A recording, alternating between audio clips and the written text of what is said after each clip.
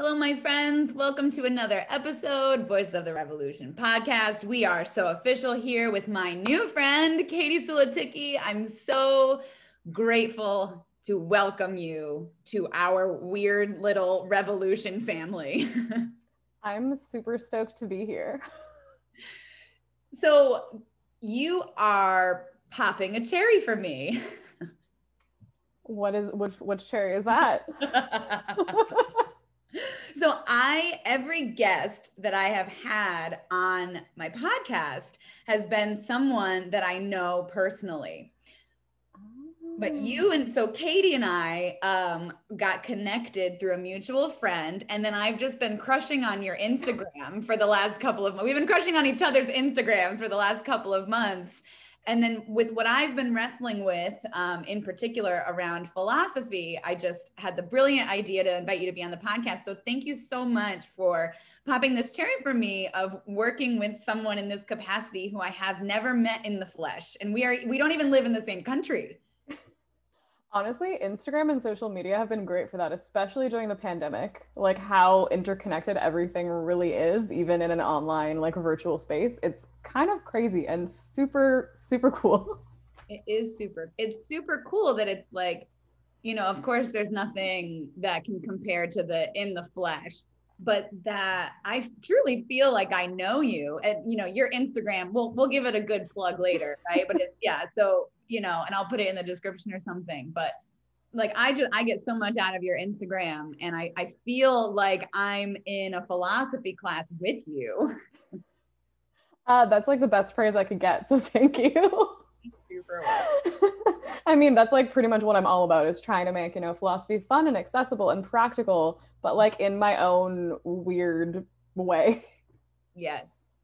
Yeah, in the way that it perfectly channels through you, right? And it's that is I'm so happy that you brought that up. That is something that I find about philosophy. So I I took a couple of philosophy courses in college um, nothing too much to write home about. And as everyone who listens to this know, I was a, you know, knows I was a terrible student, right? So it, it's not like, you know, um, but I, I find that it's, you know, once you start diving into philosophy, there's so much text and there's so many, you know, there's so much reading and learning, but ultimately, really at its essence, and, and you and I were kind of just talking about this before we hit record, really at its essence, philosophy is just a part of life. And there's like this almost separation between like the academia of philosophy and then doesn't get translated and like the everyday person is a philosopher and might not know it.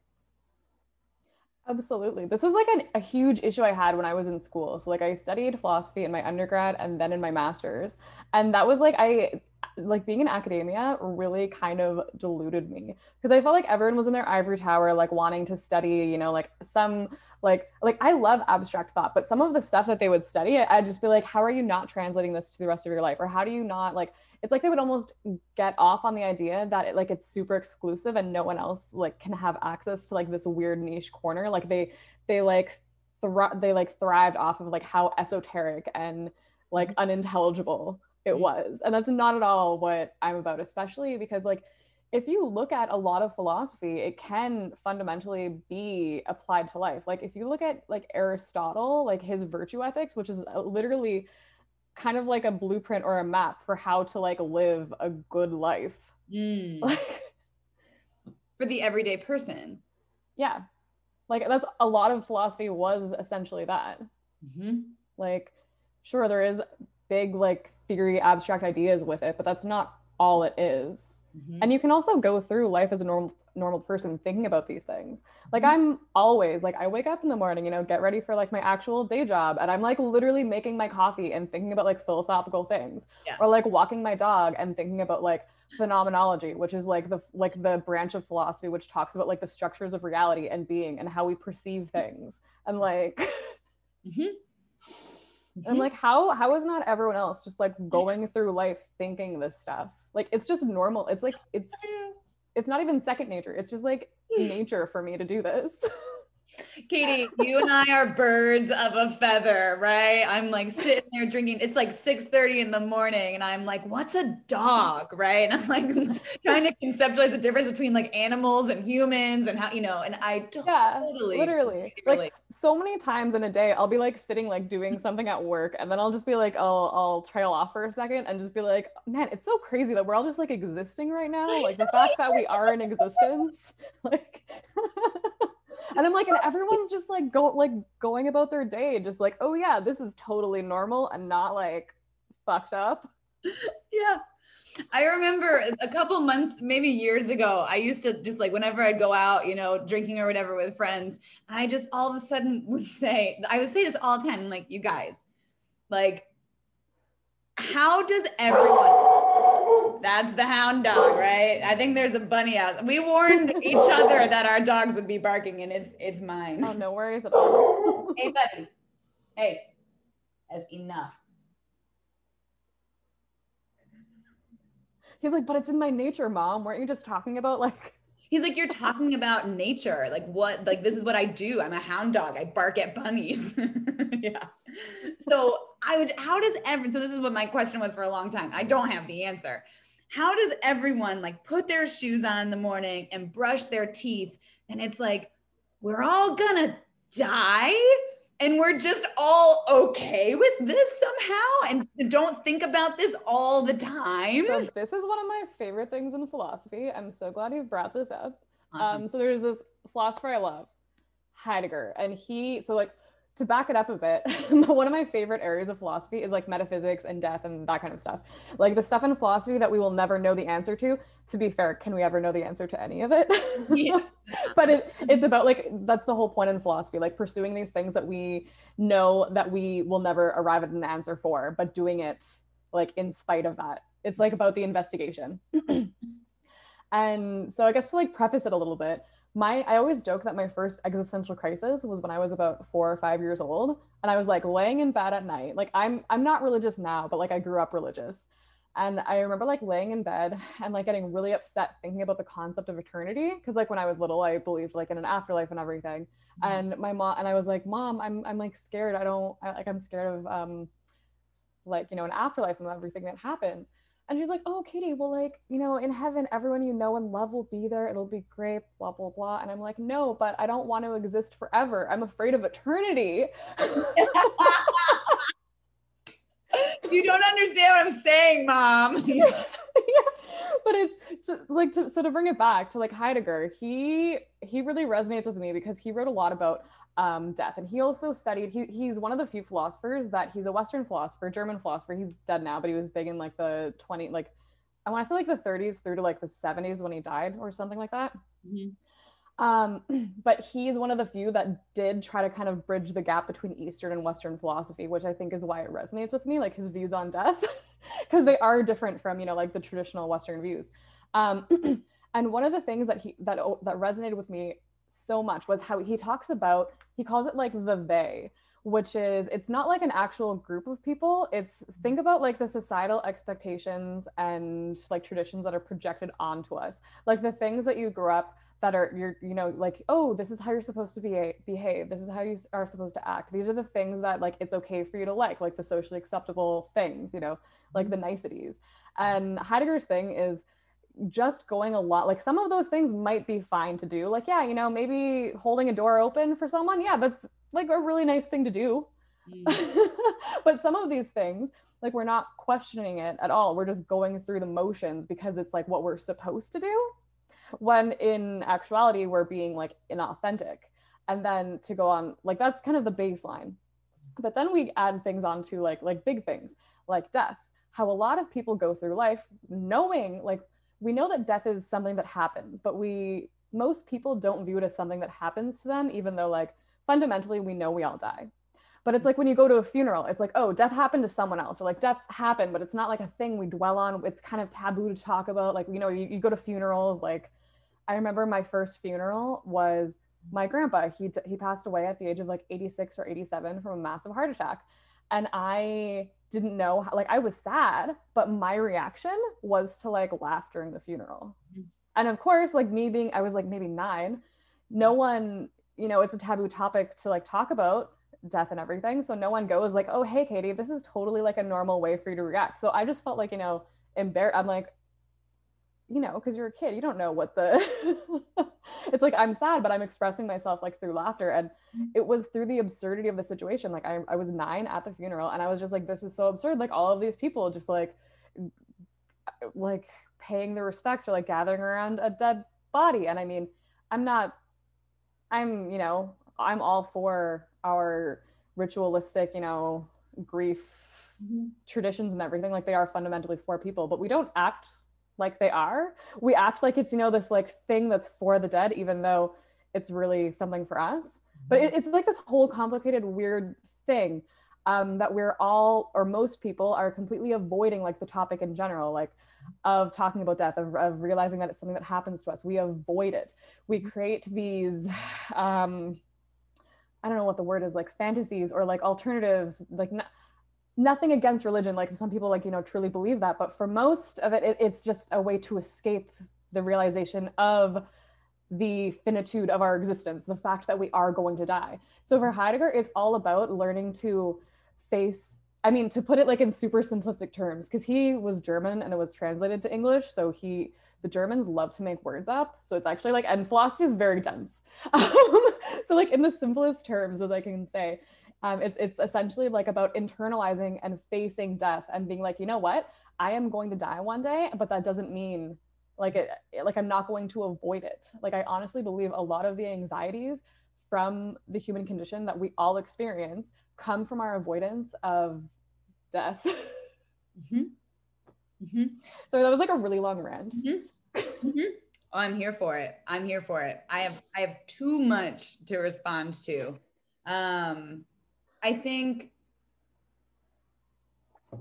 so much. I love the way that you communicate um, because there is something about working in the academic field that almost does give what you have to share you know you can pull from, and that's why we study you know people from other times because you can pull from there I, I think for me one of the things that stood out the most is this concept if we're thinking about death and in our culture it's kind of taboo laughing at funerals right? It's it's we you know i talk you know our meat comes in plastic right? We're not yeah, we're so removed from death like Ooh, right.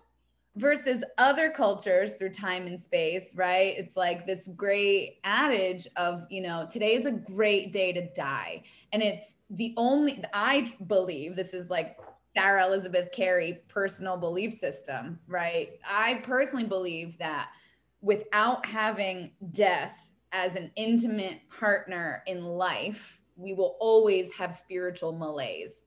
And one of my favorite authors um, is this gentleman, Jed McKenna you don't know him, put him on your list. Greatest living philosopher of all time, although he doesn't really exist because it's a pen name and you can't find him. And it's like a whole thing. And the cover picture on his book is just of a border collie, right? It's like he's like next level. Uh, incredible. But he ends his, so he writes a trilogy, right, called Spiritual Enlightenment, the Damnedest Thing. And he ends his like, you know, credo, right? Like his, the t- entire summation of what he, you know what he wants to put out into the world. And he ends it by saying if you are not consciously aware that at every moment you have the choice to kill yourself you are not a fully integrated human being. And it's you know he's just so ruthless. And just, you know and I, oh there's your puppy. Yeah there's lorelai yeah Lorelai, you're fine. You know? I love him. What's her name? Lorelai. Like Lorelai Gilmore? It's not, she's not named after the Gilmore Girls, but yes. Okay, good, good. well, mine is Huckleberry, and it is after Huckleberry Finn. Amazing.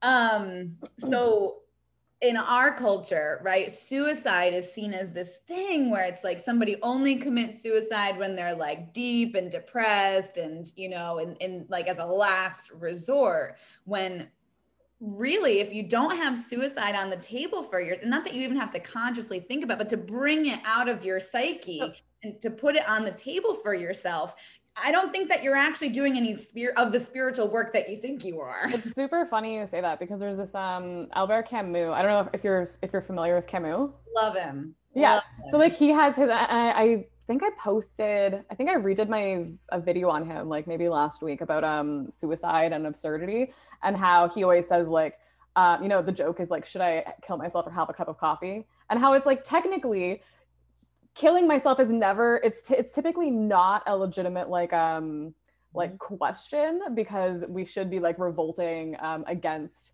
you know i guess like our human like the human condition and embracing the absurdity as as much as we can because like our existence is pretty absurd. But yes like we should still be contemplating it. Like that's always it's always, i'm always yeah always an option. It's I like, think about it all the time, like not in a serious, like in a, you know, in like a pseudo serious thing where sometimes I think I'm like, I'm like, I could just kill myself right now. Not that I will or would or want to, but it is technically always an option. I mean, sure, there Mhm. might be like human, you know, our human drive to um like live and everything like that stops us or, you know, but Mhm. technically you can. But that's also where like this concept of um like Camus and Sartre and some of those other like absurdists and existentialists, they talk about radical freedom. And Mhm. it's the fact that like technically, technically it would be really fucking difficult to, you know, completely relocate and decide my professor always used to say this. She's like, technically I could quit being a professor and go and move to like a beach in the South Pacific and sell seashells down on the seashore. She's like, there's technically nothing stopping me. She's like, if I exercise my radical freedom, I could do it, but most people like never, you know, even consider or think about all of the possibilities and things that they could do if they actually, you know, pushed through or decided to like make that decision and stick with it. Mhm. And then that kind of brings us back to the social conditioning that you were mentioning earlier, right? These obligations that, you know, this social conditioning, and then we just sort of get funneled into a life that, and oh then my it's god. unconsciously, an unconsciously chosen life. Can we talk about that? Can you please talk about it? So for me, this is a big one too. So like I I always say like and we'll get to the Socrates thing too. Like I always say like I don't know anything cuz Yeah. yeah. I'm always like I I have a good grasp of things. I try to you know, like help, you know, enlighten or shed light on some philosophical knowledge as best as I can. But ultimately like I don't, you know, I'm not necessarily an expert. Um I'm not and I'm not just trying to be humble. but um but even though philosophy is so deeply like ingrained in like my way of life and everything i do sometimes you still forget like you you default back into like the motions of existence which is why i, I say philosophy is also like a practice. Like even though it's everything for me i also have to like be conscious of it sometimes because sometimes you do fall back into like the I, I call it the everydayness of existence like when you just go through the motions and don't really like you're not actually like there and aware and engaged you're just like letting life happen rather than being part of life. Um So and so autopilot, au- autopilot. yeah exactly. So Mhm. i was i was like married for like three years or something. I was in a relationship for like eight years and it was around the pandemic where i started to realize like reevaluate what was important to me.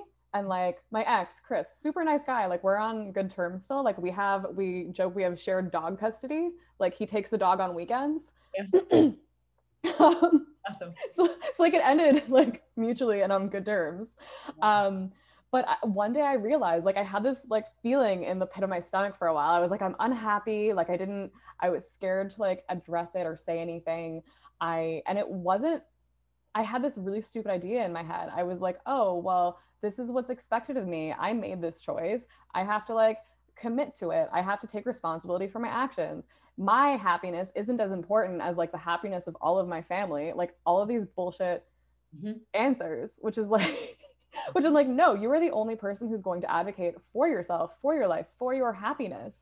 And you should be treating yourself as an end in itself rather than a means. And i was treating myself as a means like thinking everyone else was like their happiness was more important than mine even like literally my justification to myself was well i'll die eventually anyways. I guess i'll just lead an unhappy life and die. And then that's fine. Like which is such a fucking bullshit like way to live. Mm-hmm. And eventually yeah eventually i managed to i was like whoa katie like what the hell? You never think this like I typically don't think this way, but sometimes I fall into it because I am, I feel like, I don't want to say like natural, I don't know if naturally is the right, the right word, but I typically am more of like a caregiver or like one of those people that wants to like care for everyone else and like, give, I guess like, yeah, I don't want to like talk myself up, but I, I typically, I feel like I'm more like on the selfless side rather than selfish. Mm-hmm. and I just like went way too selfless and not like thinking about what was best for me. Um, but that's like that's kind of like the the thing I always come back to now about how yeah that's a, an, an example of just kind of like going like realizing not like critically analyzing or evaluating or being super conscious like as conscious as you should be about what you're doing. And then one day you're like oh shit how did this happen? Mm. but that's the thing with like radical freedom too is the is the fact that i realized i was like wait I can still get out of this as long as like I have the capacity to be like, no, sorry, like I'm out. Yeah. like and like it's not going to be easy. I mean, there's going to be some follow, but as long as I'm okay to accept that, like there's nothing stopping me from doing it. It's beautiful. It, it's beautiful. There is nothing stopping you from doing anything. And my one of my teachers used to frequently say, if you are not the main character of your own story, like you need to reevaluate everything. Oh, and yeah. I love this concept of radical freedom. Um, so radical, I learned this a couple of years ago because I, I study radical Christianity. Okay. And it, rad, so radical, okay. Uh, radical in its root Latin is the same prefix as like a radish. So rad. I did not know that. Right. Rad means root. Oh. So when we're talking, when we're saying that something is radical, like radical Christianity or radical freedom or whatever else, we're actually talking about the root, like the root of Christianity or the root of freedom. So that example that your, you know, professor would give about there's nothing stopping me from living on the beach and selling seashells, right? I know Sally sold seashells by seashore. I gotta say it five times now, right? Um, it's like unless we have fully brought the possibility that we and we don't have to live in this state right? But like to have unearthed it from the subconscious and to sat with it to have sat with it for long enough to say i could go live on the beach and sell seashells.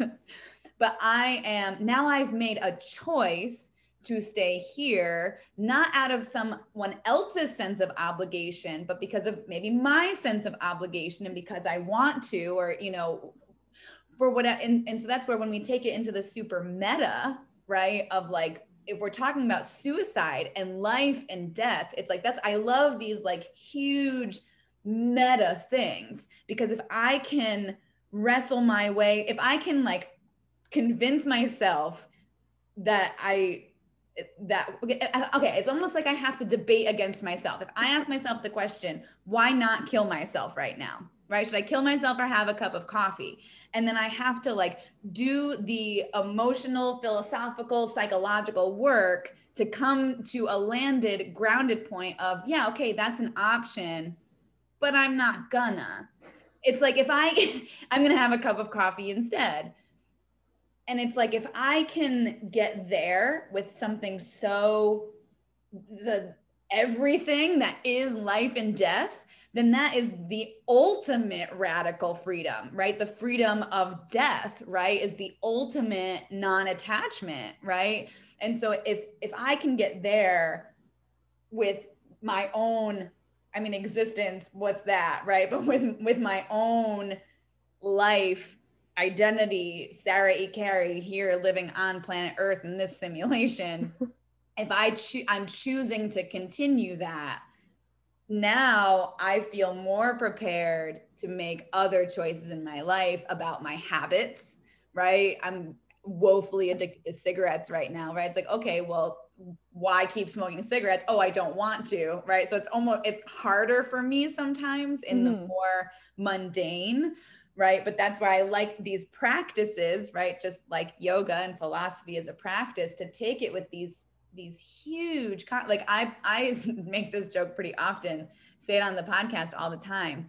I quite frequently challenge the idea that the earth is round because I don't know what the I don't know anything with any certainty other than that I am. And so the earth might be i don't even really care. The point too it's the exercise. yeah it's just like the thought experiment. It's the thought i don't even care yeah. what shape the earth is or if there's an earth or if there's a planet or if there's a solar i don't care. The point is to be able to not assume anything that was thought experiment. That was always one of my favorite parts of philosophy was taking the stance of devil's advocate mm-hmm. um like against because a lot of times there'd be a, like a philosophy paper and you'd have to like you know, either agree, like support someone's arguments or like go against. And it was like always, I can't think of any specific ones offhand, but it was always so much fun to try to challenge yourself and be like, let's see if I can argue for something that sounds like super ridiculous or like something that's totally against like what I like believe or think. And like just to like do the exercise of being like, okay, can I actually like, you know, reframe the way my mind works and like find a way to like try to, you know, justify my claims. It's kind of easy to poke holes in it, right? Yeah. And I, I feel like it's a skill more people should learn. Not just because I feel like it helps you be more critical of yourself and like what you think you know, but it also helps me to see the perspectives of others as well and to be like not so attached to like what I believe. Even if someone says something that like really I'm not a fan, like at least it, you can still kind of find some common ground and like have that discussion instead of like acting out like viscerally. You know how some people they're just like, oh God, no, I can't even like talk to you or have this discussion now because it just is so fundamentally against like whatever it is I believe. Well, we ran into that so hardcore in the US, you know, with Donald Trump and it's like if some- and no one wants to talk about like what like the underlying like reasons or assumptions or like to actually it's just like they just attack and don't actually want to sit down and discuss.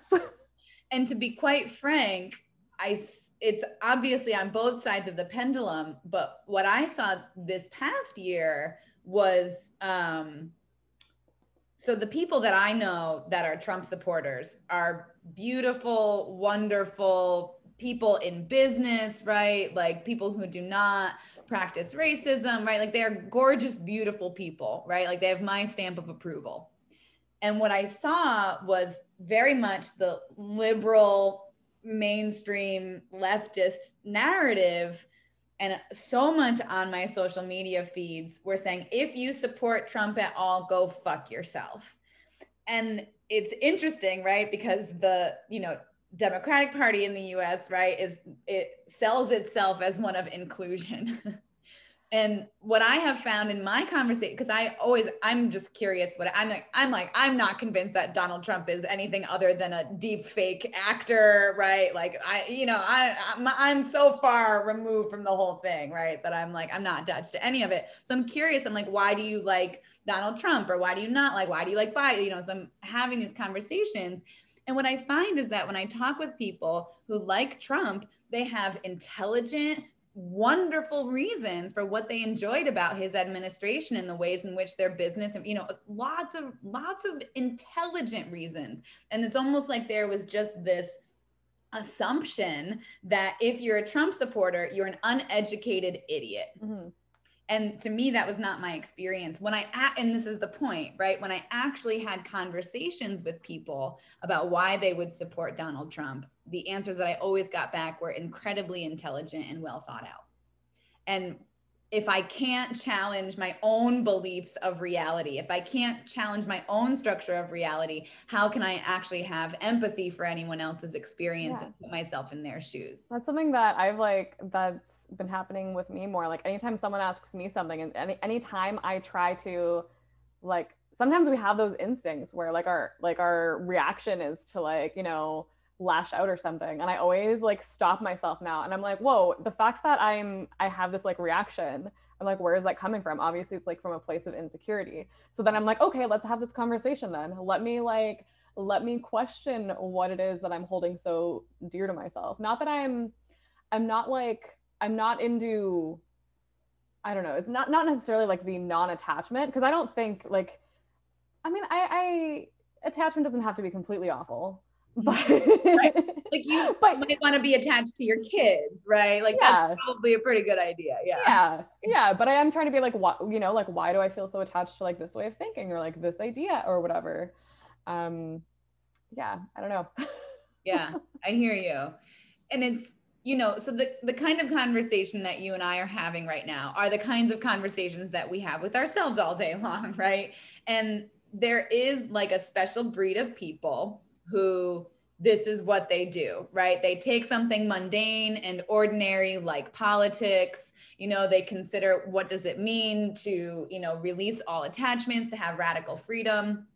Quick side note one of my teachers used to always talk about um, basically that it's like in order to have true radical freedom, you have to kill your kids, like in quotes.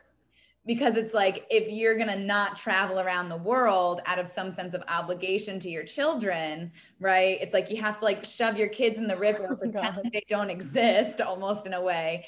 And, and then have your life adjust to, okay, now I'm going to travel around the world and bring my kids with uh, me. And that's I would say like in um in in not objection but like in response to your teacher like when it comes to existential radical freedom it's a big part is responsibility. So it's being free so long as like being free to make your choices or actions as so long as you are willing to accept the responsibility. So it's like sure you can go kill your kids as long as you're willing to accept the responsibility of that. And like you know and what will happen too is that if you like you know because again like it's like oh don't kill your children right? Yeah. like not the teaching, right? But to, you know, to sort of to release the obligation of what it means to be a good mother. Hmm. Because if I shove my kids in the river, let's say I'm choosing not to travel because I have some sense of duty and obligation to my children. If I release that role and then I say, you know, I really want to travel around the world, now my kids can come with me they can spend more time with their grant like there's a and now the relationship can actually that's where the radical freedom mm. comes in because now mom is healthy and happy following her own you know and again like you know and that's part of it too is that like sure like for some people it may be like they're like they, they take on the responsibility of doing because they want to but again that's their choice like if you know they're like you know i'm okay with sacrificing my uh, my capacity to travel to like stay here and have kids but like that's you know, again, that's or you can have both, right? There's like yeah. option C that it's like as long as you are like bogged down by like this is what good mothers do, right? This is what good wives and daughters and nieces do, right? Like they stay in a marriage out of obligation. It's like there's actually secret option C, which is like co-parent with the dog and still be best friends, right? It's like secret option C, have your kids come with you, right? It's like yeah kinds of ideas yeah like it's like thinking outside of like those traditional um like structures that we've created and, and have grown up in. It's like what but what does it actually mean to be a good mother? And then and then it does like make me think about you know people who have like women who have kind of like left their families or what like i feel like now that i'm getting older i can kind of see the other perspective and i have some like sympathy or empathy. Because like what happens if you were that kind of woman that kind of just you know this is what you were expected? You know if you like maybe grew up like got married in the 70s or 80s or whatever like you didn't have any prospects you're like this is what you do. You go through life you get married you have kids and they feel like everything has been taken from them. And they like i kind of like i kind of understand now why some of these totally. you know i feel it the, kind of like yeah. be like i'm sorry but i'm like walking out or because they feel like they've lost themselves because mm-hmm. they feel like none of the d- choices or decisions were actually theirs I feel it for the boomer generation, and I'm even seeing it with some of the boomers in my the. I'm friends with a or have a lot of people in my family and friends with a lot of people mm-hmm. who are on the young side of the boomer generation, and they're like, you know, 58 years old now, and they're saying, "Fuck, like we've still got 10 years to retirement and they're like fuck this you know? It's like that boomer generation oh like, yeah so blessed right? And it's like we still have it shitty right? But oh yeah like oh my god no. yeah like i'm never gonna own a house like i not like our parents generation or whatever it's right. like even like the boomers mentality is totally different like i remember when i told my parents that was the biggest thing i was afraid of what my parents would say and my dad was actually weirdly like cool with it and he's like he has this like weird almost like buddha type response to things where he's like, Well, if I can't control it, there's no point in like stressing about it. And he's like, I can't like mm-hmm. so I'm like, wow, dad, you're like weirdly cool with this. He's like, oh, I'm not going to stress about it. This is your decision. then my mom, her response was something like, oh, well, I guess your generation just doesn't know how to handle hardships. I'm like, excuse me. Maybe it means I value my happiness and like who I am as a person and want to, you know, like make the most of my life because as far as I'm concerned, this is my one chance to be in existence and try to like do all the things I want to do and to put good into the world and to try to like, you know, be authentically and obnoxiously me. Mm-hmm. And there's the generational gap, right, between you and your mom. And now it's like, you know, I don't know your time frame, but I know your story because it's everyone's story. Since you followed your truth and your soul's truth, and you did radical freedom, how your life has. I'm, I know there's been hardships and challenges, but you are such a more authentic version of yourself, and you're just thriving and beginning to thrive, right? It's like it only makes perfect yeah you know like i swear i just like keep getting like i mean and that's part of it too like happiness i feel like people often forget that happiness and fulfillment and all that stuff it's not a baseline that is not the baseline of existence again it's like a practice it's all of these other things and parts of your life and like conscious decisions that we make that like bring us to that i mean it's also like you can technically be happy in like the worst situations as well like it's it's sure it is kind of cliche to say, but like it is part mindset. It's part like all of these other like tiny things that add up. It's part like like it's mm-hmm. all stuff that we can control most of the time, at least.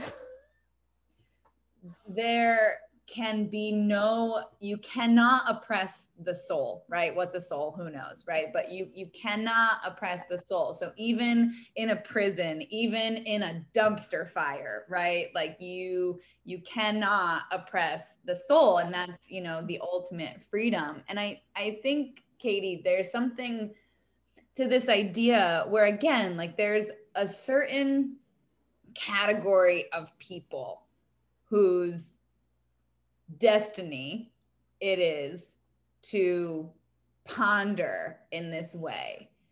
And some people go down the academic route as you have. Some people found their way into, you know, esoteric native studies like myself. They're all the same, you know, it's the same engine that's running. And, you know, to, to bring it back to the boomers, I was having this conversation with my dad and, uh, and, one of my friends at the brewery the other night. And I was like, well, but like, what if the earth, like doing that thought experiment, like, what if the earth isn't round? And my dad, like, he wasn't even paying attention. He was talking to one of his buddies and he just overheard me and he goes, ah, don't think about that too much. And then goes back talking to friend. my friend and I were just dying laughing, right? It was just like so good. Like, yeah, just Sarah, like, don't think about that too much, right? Because my That's dad. like they're, yeah. That's like their entire mentality. It's like, uh, don't worry about it. It's fine. Don't, don't think about that too much. Right? like I'm gonna go play golf and run a yeah. marathon, right? I'm just gonna it's do like the Wizard of Oz. Like, ah, ignore the man behind the curtain. It's fine. Right. yeah, don't think about that too much. And he has a point, right? And that so that's the thing, right? Is that if we take it out of the generation, is that there are oh puppies, there are puppies. there are individuals who I think are intended in a destiny sort of sense to be more like laborers. Right, enough. hey. Lorelai. Hold on. There's is it Lorelai, you're fine. No, we have um like there's upstairs neighbors and sometimes they like hang out on the porch or she can hear them so she gets like upset. Lorelai, you're fine. She's just going to tell you, like, by the way. yeah, she's just like, I'm being a good guard dog. Oh. I'm like, Lorelai, you're not the only like we're not the only ones that live here. You're fine. yeah, you should be used to this by now. Um, so I believe, again, Sarah Elizabeth Carey's personal belief system is that you know we there are universalities to all of this right we we all share some you know all of this in common but I mm-hmm. do think that some people are more intended, like my dad and one of my best friends, and a lot of people in my life. It's like, okay, you get up and you work, right? It's like yeah. you get up and you garden, right? Yeah, like then- some people enjoy that stuff, and there's totally nothing wrong with that. I sometimes wonder this myself. I'm like, so there's this allegory, um, like Plato's allegory of the cave. Do you know and, that? And my favorite, yes. Yeah. So I always think this. I'm like, okay, because Plato talks about how like you can't really drag people out of the cave like once you've left and like seen like truth or the light or whatever you want to like call it um like once you've been i guess enlightened um you can't really drag people out because they'll all think you're crazy. They'll be like no what's wrong with you? You're the crazy one. And if you do manage to like get so, so i'm like are there some people that just like can you ever actually pull them out? Are they just like i don't know is this like an ignorance is bliss type thing? Like are they hardwired to like i, I think about this and i don't know what the answer is but it, like that was my ex. And i don't know if he just couldn't have i think he just didn't understand the point because like i would try to have and this was the big thing like it turned out philosophy was like a huge part of my life which to everyone around me all of my friends were like yeah katie no shit. But to me i was like oh my god i'm just realizing they're like katie what is wrong with you? We could have told you this. Um, and he just was never able to get to the level I could of like wanting to have these like abstract conversations and like even just like the thought experiments or like you know question you know yeah like these things. He he couldn't get there. He was never interested. Like he'd let me you know like go and do it but he like couldn't engage. He just didn't care. Like he couldn't get there. Mm-hmm. um and for him like he was totally perfectly happy with doing his like he he worked in landscaping like you know just going out and doing his like physical you know like his gardening and like mm-hmm. everything. And some people are happy and content doing that. Mm-hmm. and like i guess there's no like it's just some people's preference yeah yeah and then it's you know some of it too is like speaking the same language so i feel I totally relate to what you're saying and have been in relationships where it's like we're not speaking the same language, yeah. we don't communicate in the same way. And I do feel really lucky that there are some people in my life who have this like I'm gonna get up and I'm gonna garden. Yeah, like we do need those people. We need people who, you know, are actually going to go and do things and and actually enjoy it and derive like enjoyment from it. because mm-hmm. yeah we can't all just be like thinking about big ideas and trying to what i find is that with those individuals in my life the ones that i've cultivated is that what they are doing is their version of philosophy and then I feel, you know, the people in my life are the people who are, okay, I'm going to get up and I'm going to mm-hmm. garden. And then I'm going to sit with you and talk with you because I've been baking all day. Right. And it's like, it's almost like they're, mm-hmm. it's like people who are more tactile. Right. And like in the physical world, what I find is that it's like, you know, one of, one of my buddies, he's doing actually ironically landscaping right now. And it's like, as he's like bushwhacking and like moving, it's like he's moving boulders inside himself. Yeah right? And then at the end of the day then it's like it just opens up these conversations and we both just took different ways of getting there mm. right? So it's like for him it was through this like tactile laborious laborious physical work right? Is like moving the yeah. physical boulders. And for me it's like sitting and pondering and and talking. And then it crosses over as well right? Yeah we're not yeah absolutely. I feel like i do a lot of like the crossover one. I feel like i'll have like I, I took up running like last summer like just as like a pandemic like hobby and i've actually stuck with it. And it'll be one of those things i'll have like mini like philosophical epiphanies like while i'm out running or like doing like mm-hmm. you know like physical stuff mm-hmm. totally totally it's all connected it's all interconnected and the point is exactly what you and I said that we wanted to talk about because the point is about what is. So let me ask you this question, Katie. What is, I'll launch two questions and you can pick okay. it up ever you want to what is because we are all philosophers. Oh, so this is the point right? We are all philosophers. We are all philosophers by nature but there are some people like you and me right who are storytellers and communicate in this way who's like and this is our job right? Just like we are like, all gardeners and that is your job right? So yeah. this is our job. And my first question for you i'll just say in both. What is the role of a philosopher in a healthy society and follow up, right? We can pick this up if it doesn't, however it comes through.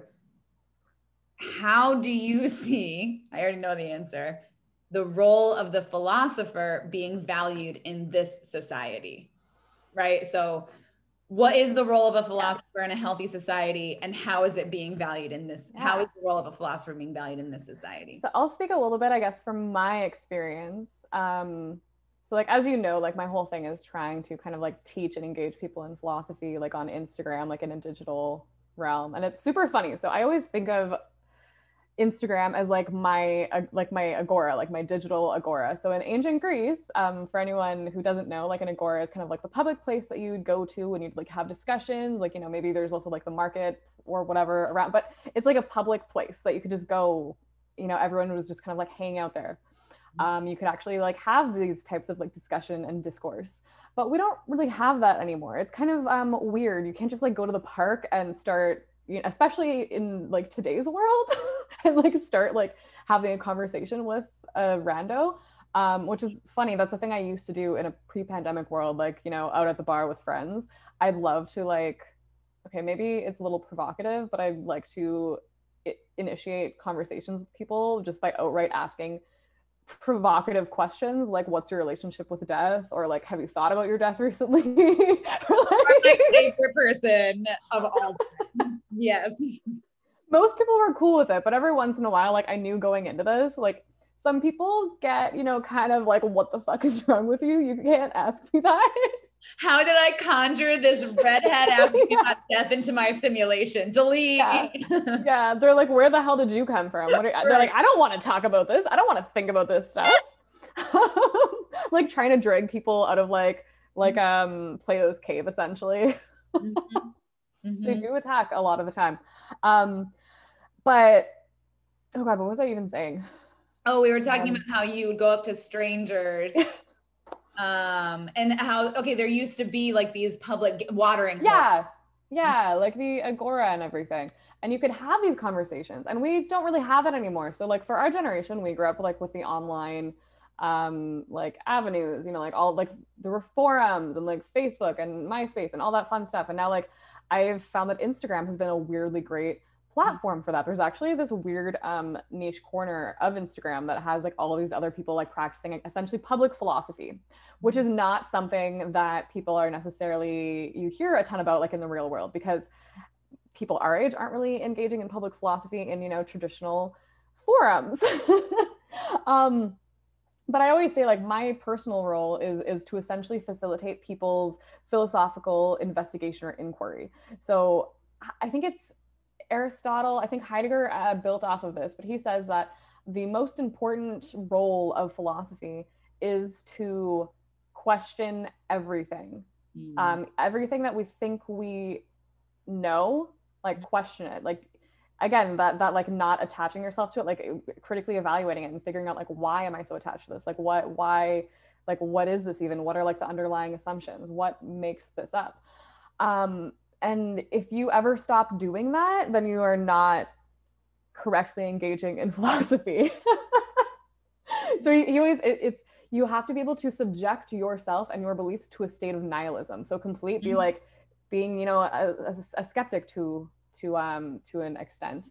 Um, and being willing to question everything. Like it, it philosophy has always been about the questioning rather than the answers it's never been, you don't enter philosophy expecting to find answers. Yes, that is one of the great things about philosophy is that we can use it for applicable things, you know, like when it comes to ethics or figuring, you know, things like that. It can be practical. We can use those things to help us figure out, you know, like maybe better ways of like government or like systems of you know this or that we can use it to find like improve or help us like sort out ethical quandaries and like other things that can translate to real life but we will never find like definitive answers. They're all just like it's a it's just a work in progress that will never actually be complete because it cannot be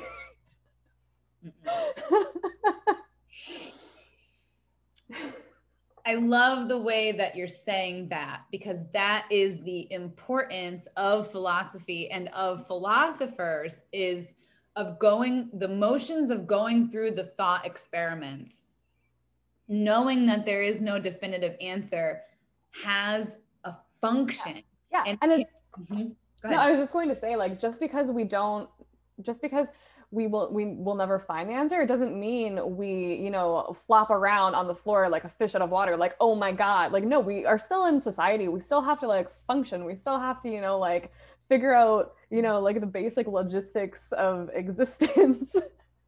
So it's not like we're saying oh well you know we can't find an answer to this so just toss it out. No it's okay well we can do this which is like you know it works. It's not perfect but it's something and we're never going to get to perfect. So at least you know this is a starting point and you know we can improve upon it eventually.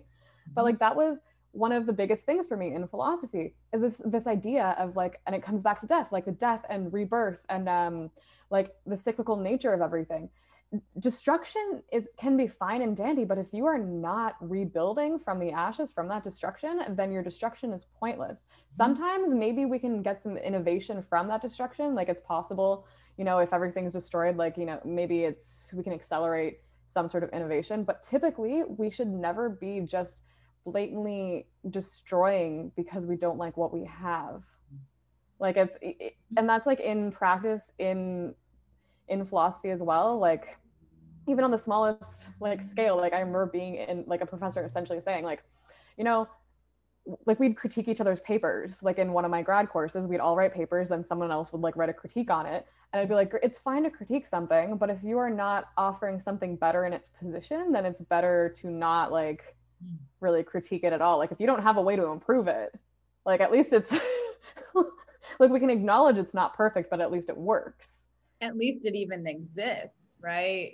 Yeah I, I hear that. So clearly you know if you're not contributing um if you don't have another idea yeah it's like yeah it's like if you're if you're even like doing something like with friends or something you know you're, you're figuring out like a restaurant to go to and no one can like agree. And it's like right. and it's like oh i don't want to go there. I don't want to go there. Okay well where do you want to go? Oh i don't know. Well yeah you're not helping the problem. Right. Yeah you are the problem. Yeah. Yeah it is like you have to give us a bone. You have to. It's like um gosh there's so much katie you know it's like the societies that we live in are far from perfect right? But at least if we're just consistently criticizing what exists and not coming to some form of a solution we are not helping. And, and yeah. you're reminding me of um have you seen one flew over the cuckoo's nest or read yeah, it a long time like a long time ago but yeah. Basically there's this one scene where Jack Nicholson's character RP McMurphy they're locked up in the loony bin and he tries to lift this giant sink to like throw against the window to break it. And this thing is like, it's got to be like 500 pounds, right? Like maybe that's an exaggeration. It looks that I'm tiny, right? So I'm like, this thing is like 500 pounds. And he tries so hard to lift this thing and he's straining and he's straining and he's straining. And you know, everyone's laughing at him then. And he turns around and he's like, fuck you, at least I tried.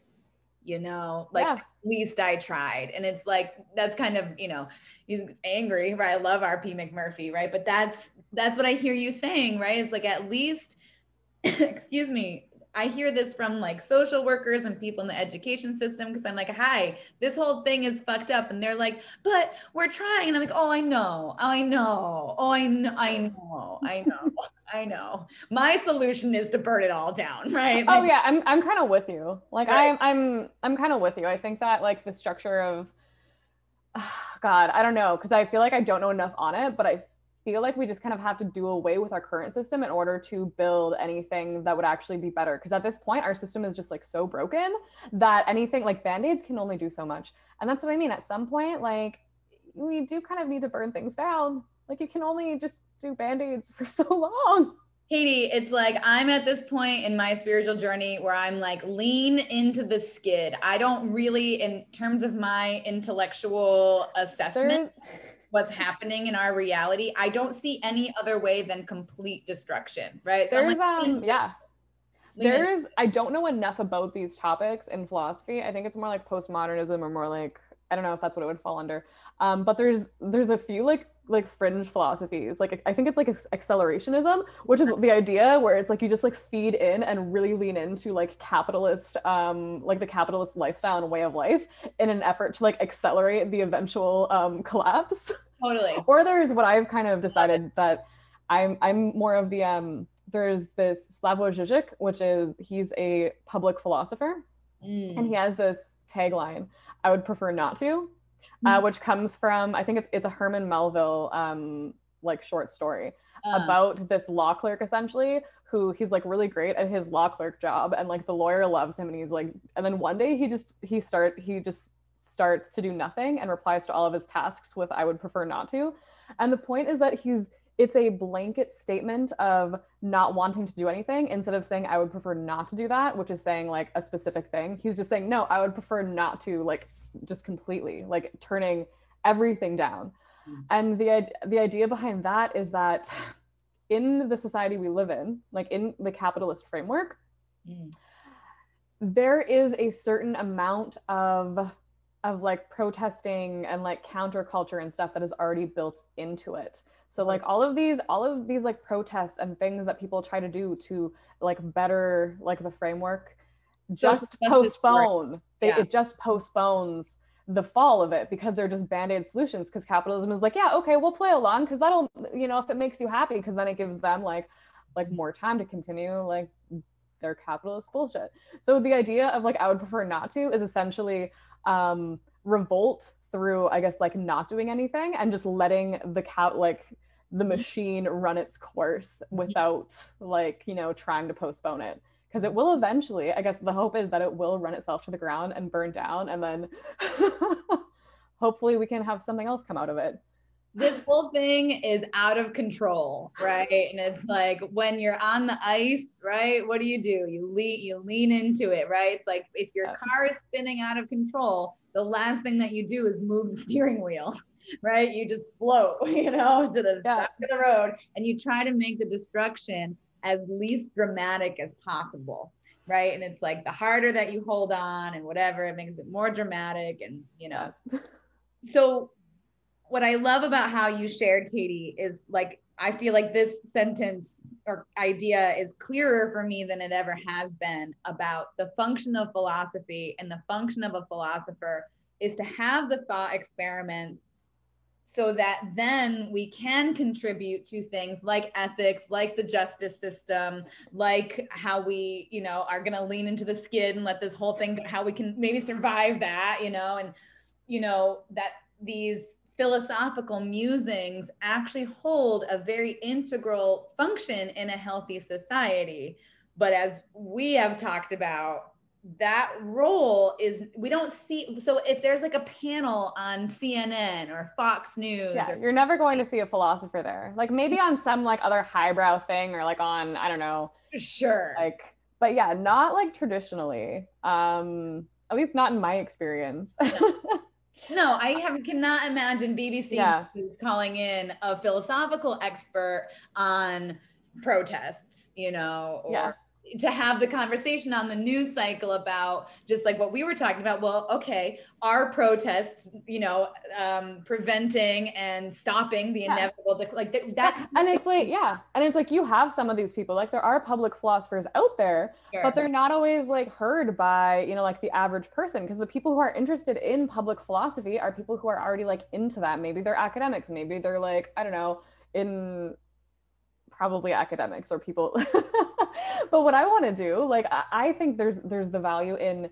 trying to engage like find trying to engage like the everyday person as well like not all of them are going to be interested but there are a lot of people who are interested who feel displaced who want to engage in this and don't know where to go who don't have the means to study this like academically or who don't have who are, who are just like overwhelmed and don't know where to begin mm-hmm. like it's it's mm-hmm. philosophy is just so inaccessible and undervalued for like how practical and applicable it can be it's almost like and i was thinking about this earlier in our episode it's it's almost like philosophy is a luxury right for the individual oh, in the way ivory yeah. tower and it's like philosophy is for everyone this is literally like i think i wrote about this in a paper in undergrad once um, it's like philosophy as yeah, it, there's people who've written about how philosophy was essentially an activity of leisure because it like back then, you know, all of the philo- and even now, people who've been able to engage in philosophy are, let's be real, they were um, well-off white guys.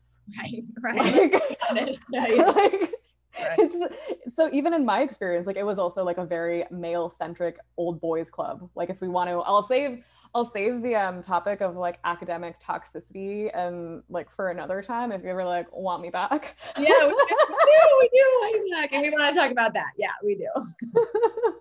but yeah, like traditionally, um, it was well off white dudes or guys or people in the church right who like they were like this was essentially their job or like their family had the means to like send them to school to study this it was it has never been like the average person's um like career path mm-hmm. it's never been like even socrates everyone like people would be like oh socrates was just like a home socrates was not homeless. I'm pretty sure like he he had some slaves. He had a wife. He had kids. He had a house. He had enough of like he had enough stuff that he didn't have to have a job. He could just spend all of his time wandering Athens, just engaging people in discourse. Who it's like if you are a single mother of three children living in the projects, you don't really have yeah. same lifestyle. But at the same token, every child is a philosopher. What do kids do? That's all all mm-hmm. kids do is ask questions. Yeah. Why this? Why that? Like I had my first existential crisis at like 5. I'm sure I'm sure like millions of other kids have, you know.